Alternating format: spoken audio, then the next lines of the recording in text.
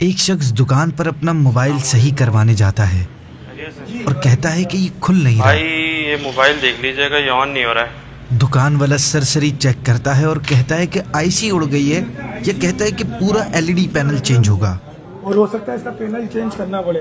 तो आप एक काम करो कल दोपहर तक आप आ जाओ तो मैं इसको रेडी करके रखूँगा। दुकान वाला उसके जाने के बाद मोबाइल खोलता है और बैटरी चेक करके साफ़ करता है जिससे मोबाइल फ़ोन ऑन हो जाता है।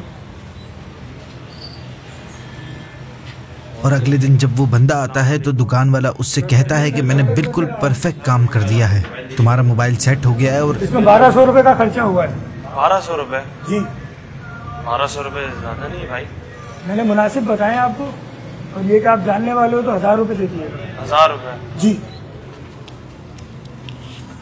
ले लीजिएगा। ठीक है भाई। शुक्रिया भाई इस तरह वो दुकान वाला इस बंदे से ज़्यादा पैसे ले लेता है।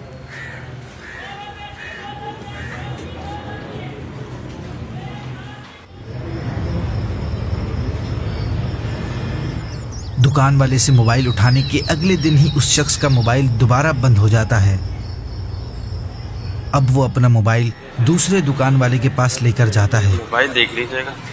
क्या मसला है? ऑन नहीं हो रहा। दुकान वाला चेक करता है और उसे उसी वक्त सही करके दे देता है। ये लेकर आपका मोबाइल ऑन हो गया। है तो वो शख्स उससे पूछता है क्या ये अंदर से खुला हुआ है? भाई ये खुला हुआ तो नहीं। नहीं नहीं ये खुला हुआ पीस नहीं है आपका।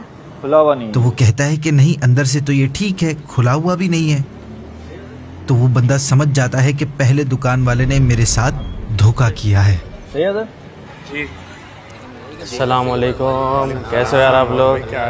खरीद है भाई तो मूत रवाज यार बस क्या बताऊँ वो नहीं है शाकिर मोबाइल वाला। उसने चूना लगा दिया भाई। फिर ये शख्स धोखे वाली बात अपने दोस्तों को बताता है इस तरह ये बात फैल जाती है? और लोग इसकी दुकान पर जाना छोड़ देते हैं।